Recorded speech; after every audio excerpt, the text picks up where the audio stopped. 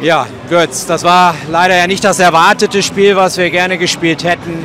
Was waren die Gründe, dass es heute doch sehr einseitig war?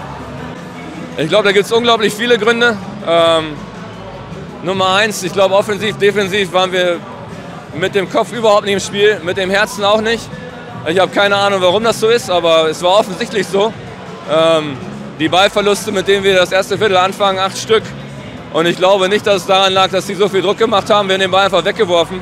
Ähm, das tat schon mal weh. Ich glaube, wir waren erste Halbzeit noch einigermaßen im Spiel, obwohl wir, wie gesagt, offensiv und defensiv überhaupt nicht da waren.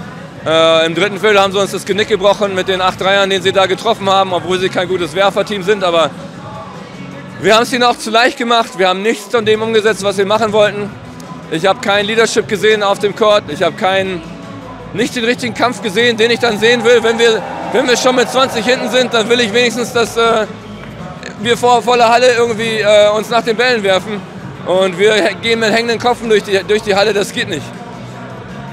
Ja, im Grunde genommen ist damit alles gesagt. Äh, wie geht es jetzt weiter? Wir spielen nächste Woche, glaube ich, in Düsseldorf. Äh, ganz normale Trainingswoche wahrscheinlich, ne?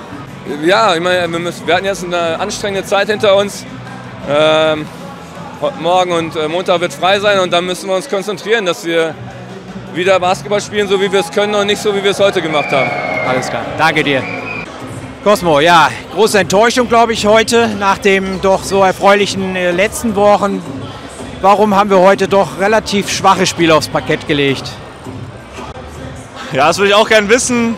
Ähm, muss einfach sagen, dass äh, Karlsruhe uns in jeder Kategorie des Spiels den Schneid abgekauft hat mit sehr viel mehr Physis gespielt hat als wir. Ähm, ja, und dann haben wir es in, in keiner Phase des Spiels geschafft, irgendwie Kontrolle auszuüben. Und ja, es sah so aus, als würde ein erwachsenes Team gegen ein U18-Team spielen. Das tut natürlich besonders weh, weil heute die Rekordkulisse, so viele Fans, alle gut gelaunt und ja, es tut dann auch weh, dann so eine enttäuschende Leistung zu zeigen. Ähm, ja, sitzt man auf der Bank und hat einfach nur irgendwie ein schlechtes Gewissen und es ähm, ja, ist natürlich sehr ärgerlich. Und ja, ich kann es nicht so ganz erklären, warum das passiert, aber ja, Frankfurt ist, äh, ist ein gutes Team so. Ja, hoffen wir mal, dass ihr in der Woche rausfindet, woran Ja, ja. es heute wirklich speziell gelegen hat. Geht ja nächste Woche trotzdem weiter in Düsseldorf. Denkst du, dass wir ja, diesen Genickschlag heute auch wegstecken und Ja. dann vielleicht ein anderes Gesicht zeigen? Ja, das ist, denke ich, jetzt das Wichtigste, dass man ähm, so eine Niederlage einfach wegstecken kann und äh, versucht dann halt nächste Woche wieder unser normales Gesicht in Anführungszeichen zu zeigen. Ähm, aber ich denke, das wird jetzt noch ein, zwei Tage wird es sitzen bleiben, weil es echt weh tut und ja, dann schauen wir mal am, am Mittwoch, Dienstag, Mittwoch, wenn wir anfangen zu trainieren, dass wir uns dann auf Düsseldorf konzentrieren. Nathan, what has happened today in our team? Um, Karlsruhe, um, it's hard to say their name, but they came out with more energy with us. Uh, it's crazy because we went over their game plan exactly in practice, and I just feel sad because every time it's a home game, we just don't get it together. It was just like a varsity team played against a JV team, plain and simple.